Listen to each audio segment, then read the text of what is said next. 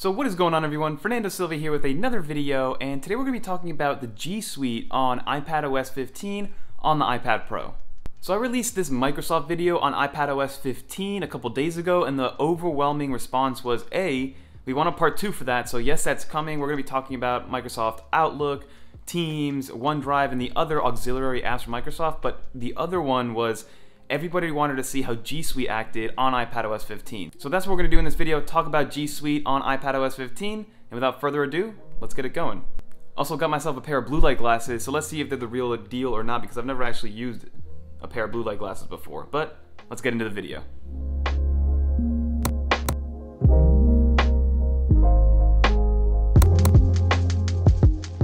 So let's get right into this, everybody. And the first thing that we're gonna do is we actually should delete all of the Google Suite applications off of your iPad Pro or any iPad OS 15 device that you have. The reason we do this is because when you go into Google Drive, for instance, right? So you can see that right here, we opened up my Drive, we're in Safari, and the first thing that it says is open in the Google Drive app, right? Which is what it defaults to. But if you wanna pick on something that is in the Drive app, and let's say you wanna go into your financial statements or something like that, you double click and then defaults and then opens to the application. So you can see that right now the application of Google Sheets is open. So if I want to actually use the web portal version, which is the one that's a lot better because just to give you guys a rundown on the reason why we're avoiding the applications because it's just not there yet at all. There's no cursor support. As you can see, I'm hovering over different things. Yes, you can click on them, but you can't, but it doesn't take advantage of 13.4 cursor support. If I go into the dashboard, if I want to highlight multiple things, hold shift and click on something else, it doesn't work. So a lot of the function isn't there on the actual application side. And why that is, I really don't know. So if you guys just need to view documents and quickly change little things, then okay, go with the actual applications. Like I have the applications on my phone, but not on the iPad. So what I'm going to do is actually delete all of these applications. You want to remove the app totally from the iPad. You don't want to just delete it and move it to the app library. You want to remove it totally. So we'll delete those. I already deleted the, the last one, which I think was slides. So now if we go into here and go into Safari, if I click on the financial statements, then it opens up within Google in Safari, which is a totally different situation, right? So here you can see that's a lot better. It does hover over things. Basically, it's the exact web portal version of Google Suite that you're so used to using on your Mac OS computer or your Windows computer. So that is how we're gonna touch on these today. So we're gonna go through every single application. So we're gonna go through Google Sheets, Google Docs, and Google Slides. Those are the three main ones. If you guys want me to touch on other ones, then by all means leave the comments down below.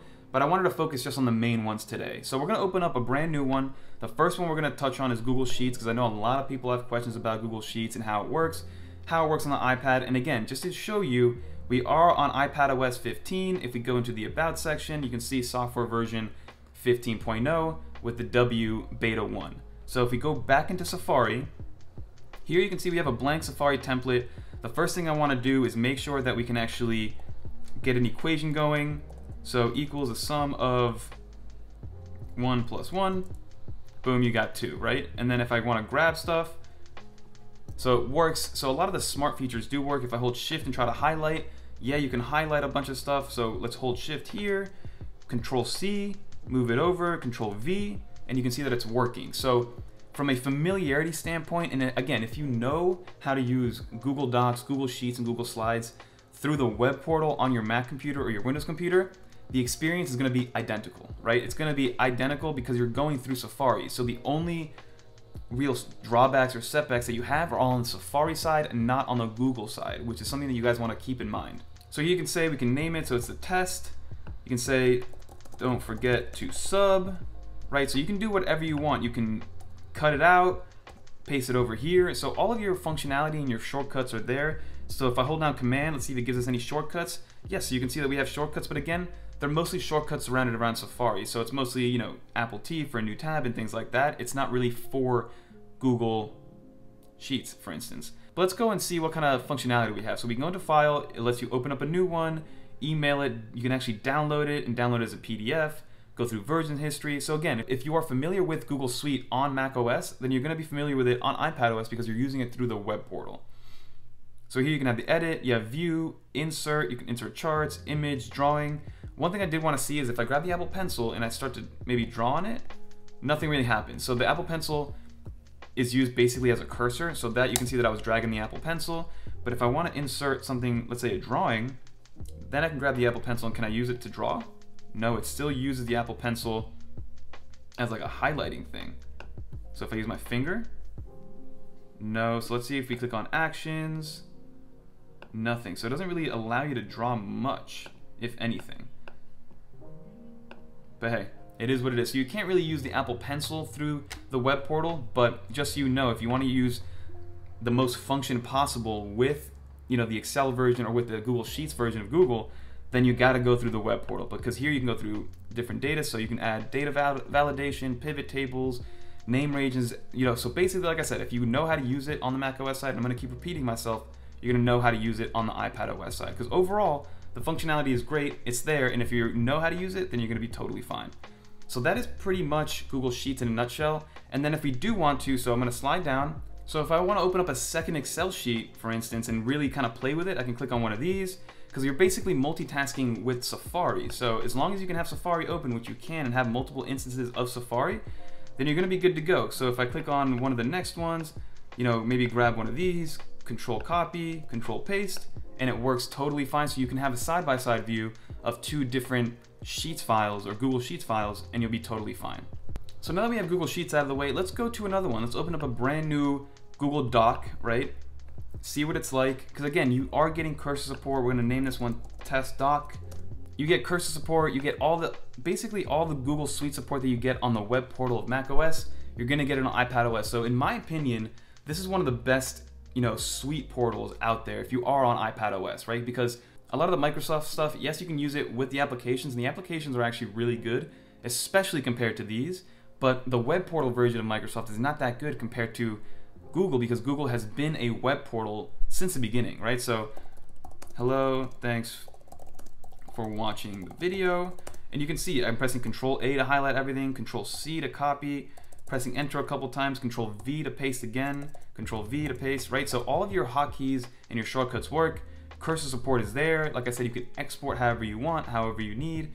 Let's insert a table. You can insert any table that you want. You can insert different charts, insert different drawings. So the possibilities are pretty much limitless and you have all your different settings menus and formatting and things like that. So overall, Google Suite I think is a much better, especially on an entry level standpoint because A, it's free and B, it's very accessible no matter what operating system you're on, right? Even if you're using the 8th gen 10.2 inch iPad, you know, that's $330. This is gonna run perfectly. And then again, you're not even gonna need storage because everything is stored on Google Suite. And then the last one we gotta check out is Google Slides. See what it's like, see how it works. And you can see that it works perfectly, right? You can use different templates. I'm gonna press not interested. So again, remember not to download the applications because the applications are 10% of what you get on the actual web portal. Thank you for watching. If I can even spell, but all of your different but all of your settings, all of your formatting, everything that you're used to is gonna be on Google Slides and it's gonna be awesome. So we're gonna rename this one test for video. You have your file, your edit, your view, you know, your slideshow to duplicate slides, delete slides, get into the actual slide. We can edit the theme itself, you know, maybe do one of these. So again, the possibilities, as long as you know what you're doing from a slides perspective, if you know how to use Google Slides, it's gonna work perfectly well on your iPad Pro. Again, as long as you have internet connection. Can't forget about that one. So overall, the Google Suite is actually a great tool if you guys are in that ecosystem. The biggest thing is if you know how to use Google Suite already on your Mac, on your Windows, on your phone, on a previous iPad, then it's gonna be very easy to use on this current iPad with iPadOS 15. And the only thing that's gonna set it back is iPadOS 15 and Safari versus Google, because on the Google side, at least on the web portal side, they're doing everything exactly how they do it on the macOS side. Avoid downloading the applications because they're not that good and they make the actual experience a lot worse. But let's get out of this view and go to the normal view. So that's pretty much going to do for this video, everybody. Like we saw in the video, go through the web portal. Do not use the applications. The, uh, the applications are very, very watered down. They don't even take into account iPadOS 13.4 cursor support.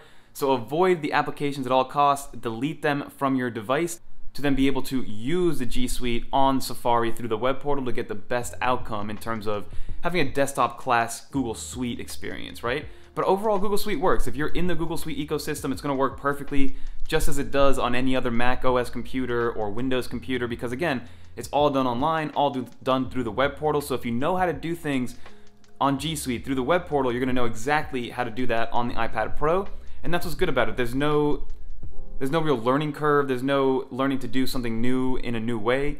There's no learning how to do something old, but learn how to do it in a new way because you have to learn it through iPad OS.